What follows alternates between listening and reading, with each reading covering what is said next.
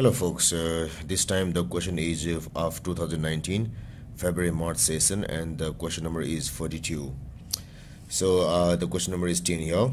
In this uh, question is concerned with the chapter uh, magnetic field as well uh, as um, electromagnetic induction.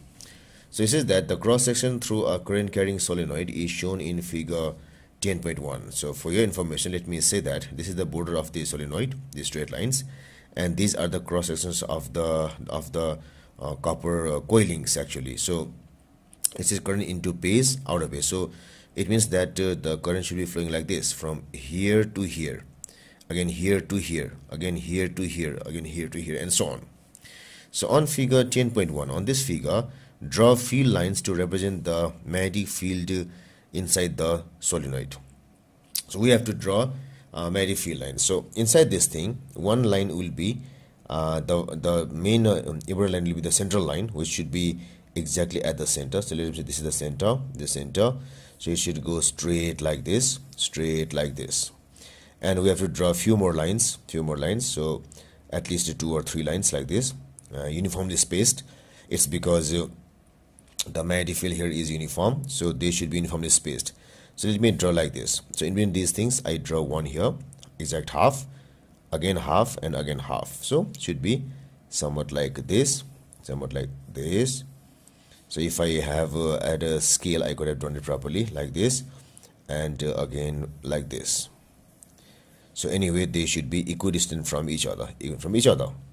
Now regarding their uh, direction that requires us to apply the right hand rule of uh, right hand thumb rule actually so right thumb rule. So this thing says that uh, if this uh, thumb represents the current the the direction of other fingers represent that of the field lines. So what i can do here is here current is out of this space.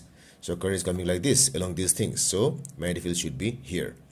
So magnetic field lines of force should be like this. So it means from right to left.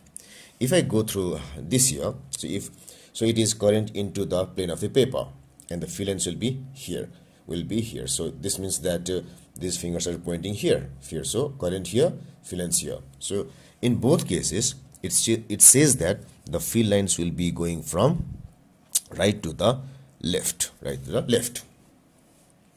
So uh, this can also be uh, made easy by uh, using these symbols here. Current into phase is somewhat like this crossed here and out of page is somewhat like this dot also. So if i start like this it also forms things easy. So like this like this and here like this. Now in number b so let us draw these things here also. So then it makes things complete. Don't forget that. So number b says state for Faraday's law of uh, field induction. So there's no need to do that because we have done it uh, many many times. Now number c a coil of insulated wire is wound on uh, to a soft iron core. Soft iron core. So we have got coil here, ammeter, switch, and a source of DC. The coil is in series uh, with a battery, a switch, switch, and an ammeter like this. So initially I said just roughly. Now it's official language there. Now use laws of electromagnetic induction to explain why when the switch is closed, the current increases gradually to its maximum value. So when the current is, when the switch is closed, it says why the current is, current increases uh, gradually. So when the switch is, uh, uh, we put on the switch here, the current start to increase. So when current starts to increase, the field lines also start to expand, also expand and uh, their density also increases.